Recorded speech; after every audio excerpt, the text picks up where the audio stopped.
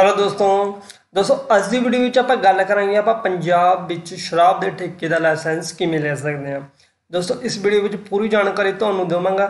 ਜੇ ਸਾਡਾ channel subscribe ਨਹੀਂ ਕੀਤਾ ਪਲੀਜ਼ ਸਾਡਾ ਚੈਨਲ ਜਰੂਰ ਸਬਸਕ੍ਰਾਈਬ ਕਰ ਲਓ ਤੇ ਵੀਡੀਓ ਨੂੰ ਲਾਈਕ ਕਰ ਲਓ, ਤੁਹਾਡੇ ਸਪੋਰਟ ਦੀ ਬਹੁਤ ਜ਼ਰੂਰਤ ਹੈ।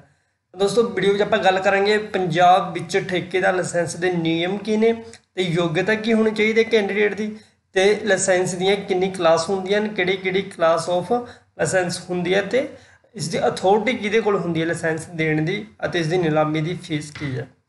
ਉਹ ਦੱਸੋ ਜ਼ਿਆਦਾ ਟਾਈਮ ਵੇਸਟ ਨਾ ਕਰਦੇ, ਸਿੱਧਾ ਆਪਾਂ ਮੋਟਿਵ ਤੇ ਆਉਂਦੇ ਆ ਤੇ ਸਭ ਤੋਂ ਪਹਿਲਾਂ ਆਪਾਂ ਇਸ ਦੀ ਜਿਹੜੀ ਕਲਾਸ ਹੁੰਦੀ ਹੈ ਲਾਇਸੈਂਸ ਦੀ, ਉਸ ਬਾਰੇ ਆਪਾਂ ਡਿਸਕਸ ਕਰ ਲੈਂਦੇ ਹਾਂ। ਦੋਸਤੋ, ਜੋ ਲਾਇਸੈਂਸ ਹੁੰਦੇ ਨੇ, ਉਹ ਵੱਖ-ਵੱਖ ਕੈਟਾਗਰੀ ਦੇ ਹੁੰਦੇ ਨੇ। ਜਿਵੇਂ ਤੁਸ- ਜਿਵੇਂ ਐਗਜ਼ਾਮਪਲ ਦੇ ਤੌਰ ਤੇ ਮੈਂ ਲਾਇਸੈਂਸ ਲੈਣਾ ਪਹਿਲਾਂ ਮੈਂ ਚੂਜ਼ ਕਰੂੰਗਾ ਕਿ ਮੈਂ ਫੋਰਨ ਲਿਕਵਰ ਜਿਹੜੀ ਵਿਦੇਸ਼ੀ ਸ਼ਰਾਬ ਆ, ਉਸ ਦਾ ਲਾਇਸੈਂਸ ਲੈਣਾ ਜਾਂ ਆਪਣੇ ਦੇਸ਼ ਵਿੱਚ ਬਣਦੀ ਹੈ ਜਿਹੜੀ ਉਸ ਦਾ ਲਾਇਸੈਂਸ ਲੈਣਾ ਜਾਂ ਰੈਕਟੀਫਾਈਡ ਸਪਿਰਿਟ ਲਿਕਵਿਡ ਹੈ ਜਿਹੜਾ, ਉਸ ਦਾ ਲੈਣਾ ਲਾਇਸੈਂਸ ਜਾਂ ਅਦਰ ਕਿਸੇ ਹੋਰ ਜੋ ਵੀ ਕਲਾਸ ਹੈ ਇਸ ਦਾ ਆਪਾਂ ਲੈਣਾ। ਆਪਾਂ ਇੱਕ ਵਾਰੀ ਸਿਲੈਕਟ ਕਰ ਲਾਂਗੇ ਕਿ ਹਾਂ, ਮੈਂ ਚਲੋ ਐਗਜ਼ਾਮਪਲ ਦੇ ਤੌਰ ਤੇ ਆਪਣੇ ਦੇਸ਼ ਵਿੱਚ ਬਣੀ ਕੰਟਰੀ ਸਪਿਰਿਟ ਲਿਕਵਰ ਦੀ ਮੈਂ ਲਾਇਸੈਂਸ ਲੈਣਾ। ਤੇ ਉਸ ਤੋਂ ਬਾਅਦ ਦੀ ਗੱਲ ਕਰੀਏ ਦੋਸਤੋ ਤੇ ਐਲੀਜੀਬਿਲਟੀ ਤਾਂ ਲਾਇਸੈਂਸ ਲੈਣ ਵਾਸਤੇ ਮੇਰੀ ਐਲੀਜੀਬਿਲਟੀ ਕੀ ਹੋ ਗਈ? ਤਾਂ ਸਭ ਤੋਂ ਪਹਿਲਾਂ ਜਿਹੜਾ ਲਾਇਸੈਂਸ ਬਣਦਾ, ਇੱਕ ਵਿਅਕਤੀ ਦੇ ਨਾਮ ਤੇ ਬਣਦਾ ਹੈ। ਤੇ ਜਿਹੜਾ ਕਿ ਉਹ ਅੰਡਰ ਦਾ ਇੰਡੀਅਨ ਕੰਪਨੀ ਐਕਟ ਦੇ ਅਧੀਨ ਹੋਣਾ ਚਾਹੀਦਾ ਹੈ। ਮਤਲਬ ਭਾਰਤੀ ਕੰਪਨੀ ਐਕਟ ਦੇ ਤਹਿਤ ਸ਼ਾਮਿਲ ਕੀਤੀ ਗਈ ਸੰਸਥਾ ਦੇ ਥਰੂ ਹੋਣਾ ਚਾਹੀਦਾ। ਦੋਸਤੋ ਇਹ ਜੇ ਤੁਹਾਨੂੰ ਸਮਝ ਨਹੀਂ ਆਉਂਦੀ ਨਾ, ਜਿਹੜੀ ਭਾਰਤੀ ਕੰਪਨੀ ਐਕਟ ਕਿਹੜਾ ਹੈ, ਤਾਂ ਮੈਂ ਵੀਡੀਓ ਦੇ ਡਿਸਕ੍ਰਿਪਸ਼ਨ ਵਿੱਚ ਪੰਜਾਬੀ ਵਿੱਚ ਕਨਫਰਮ ਕਰਕੇ ਤੁਹਾਨੂੰ ਲਿੰਕ ਦੇ ਦਾਂਗਾ ਉੱਥੋਂ ਸਿੱਧਾ ਕਲਿੱਕ ਕਰਕੇ ਤੁਸੀਂ ਪੰਜਾਬੀ ਵਿੱਚ ਪੜ੍ਹ ਕੇ ਜਿਹੜਾ ਇੰਡੀਅਨ ਕੰਪਨੀ ਐਕਟ ਆ, ਉਹ ਰੀਡ ਕਰ ਸਕਦੇ ਹੋ ਵੀ ਕੀ ਕੀ ਹੁੰਦਾ ਹੈ ਇਸ ਵਿੱਚ। ਤੇ ਇਸ ਤੋਂ ਇਲਾਵਾ ਜਿਹੜੀ ਪੰਜਾਬ ਕੋਆਪਰੇਟਿਵ ਸੁਸਾਇਟੀ ਐਕਟ ਹੈ ਇਸ ਦਾ ਲਿੰਕ ਵੀ ਮੈਂ ਤੁਹਾਨੂੰ ਵੀਡੀਓ ਡਿਸਕ੍ਰਿਪਸ਼ਨ ਵਿੱਚ ਦੇ ਦੂੰਗਾ, ਜਿੱਥੇ ਕਲਿੱਕ ਕਰਕੇ ਤੁਸੀਂ ਇਹ ਸਮਝ ਸਕਦੇ ਹੋ ਕਿ ਹਾਂ, ਕਿ ਕੀ ਐਲੀਜੀਬਿਲਟੀ ਮੰਗੀ ਗਈ ਹੈ ਇਹਨਾਂ ਐਕਟ ਵਿੱਚ। ਤੇ ਅੱਗੇ ਗੱਲ ਕਰੀ ਦੋਸਤੋ ਪਾਰਟਨਰਸ਼ਿਪ ਆਫ ਫਰਮ ਦੀ ਹੋਣੀ ਚਾਹੀਦੀ ਹੈ ਤੇ ਹਿੰਦੂ ਅਨਡਿਵਾਈਡਡ ਫੈਮਿਲੀ ਹੋਣਾ ਚਾਹੀਦਾ ਹੈ ਕੈਂਡੀਡੇਟ ਜੋ ਵੀ ਲਾਇਸੈਂਸ ਲਈ ਅਪਲਾਈ ਕਰ ਰਿਹਾ ਹੈ।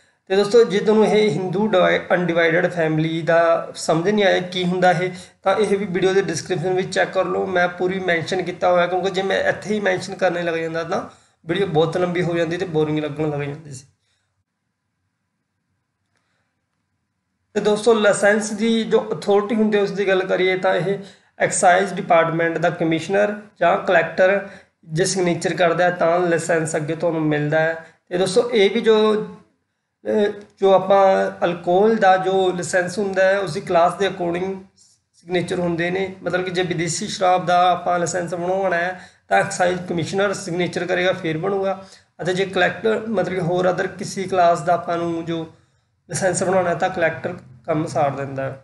ਓਕੇ ਦੋਸਤੋ, ਤੇ ਅੱਗੇ ਗੱਲ ਕਰੀਏ, ਨਿਲਾਮੀ ਫੀਸ ਕੀ ਹੁੰਦੀ ਹੈ?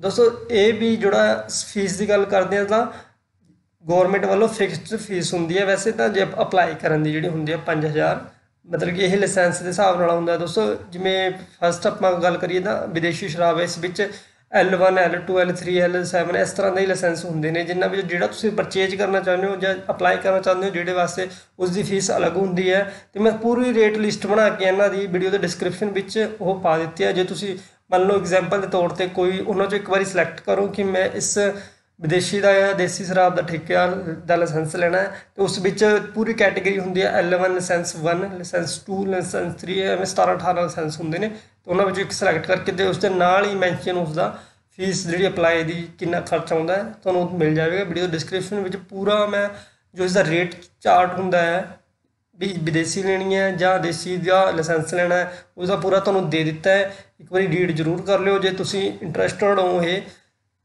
ਲਾਇਸੈਂਸ ਲੈਣ ਵਿੱਚ। ਓਕੇ ਦੋਸਤੋ, ਤੇ ਹੋਰ ਜਾਣਕਾਰੀ ਲਈ ਸਾਡਾ ਚੈਨਲ ਜ਼ਰੂਰ ਸਬਸਕ੍ਰਾਈਬ ਕਰ ਲਓ। ਜੇ ਵੀਡੀਓ ਤੁਹਾਨੂੰ ਬੈਨੀਫੀਸ਼ੀਅਲ ਲੱਗਦੀ ਹੈ ਕਿ ਹਾਂ ਕੁਝ ਨੌਲੇਜ ਦੀ ਗੱਲ ਕਰੀ ਹੈ ਮੈਂ ਇਸ ਵੀਡੀਓ ਵਿੱਚ, ਤਾਂ ਵੀਡੀਓ ਨੂੰ ਲਾਈਕ ਵੀ ਜ਼ਰੂਰ ਕਰ ਲਿਓ।